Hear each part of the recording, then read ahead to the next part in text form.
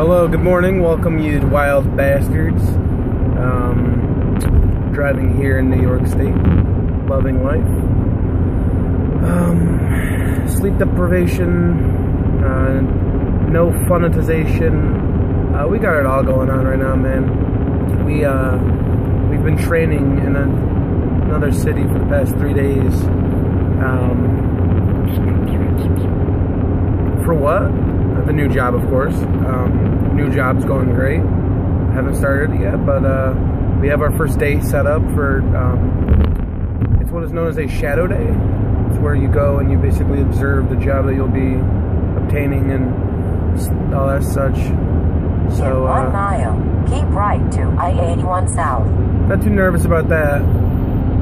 More nervous just about, um, you know, making sure the new vehicle works out for as long as I need it to work out. Um, job, you know, I guess not really stability. Like I'm not worried about that because I, I know like once I get into the job and I've learned it and all that, I should be pretty pretty competent at it. So I'm not worried about that. What I'm curious about is just in the long term. You know, how long is it gonna take to get full time? Um, how do I go? about securing more hours? And also, um, uh, dude, I'm. Have the two right lanes. I get it. Mm, yeah, yeah. Driving this city is like a fucking madhouse. There's literally so many people fucking flying in through your lane of traffic to get to the fourth lane of traffic. So it's like, what the fuck? Continue on I-81. Yes, yes, yes. And I'm good to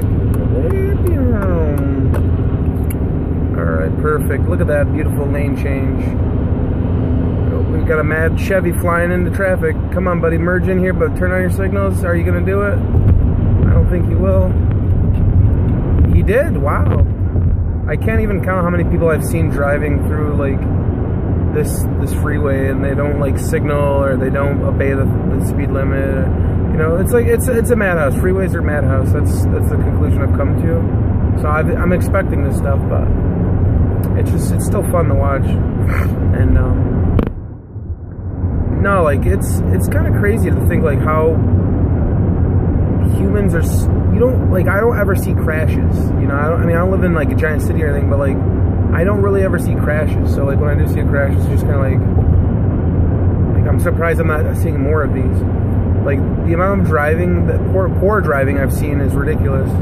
Granted, I've only had my license for we're almost we're, we're a little over two years, almost two and a half years.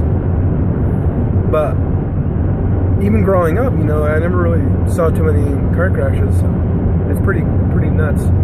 Um, I always I always say that too is like, why aren't there more serial killers? Why aren't there more like thieves? You know, it's crazy how much like skill and competence and like morals and honor there are behind humans. I always underestimate humans, which is I don't know if that's a good thing or a bad thing, but I just always do. But no, so we uh we started job first day on on on the day on the what is it on on site training. It's gonna be next week.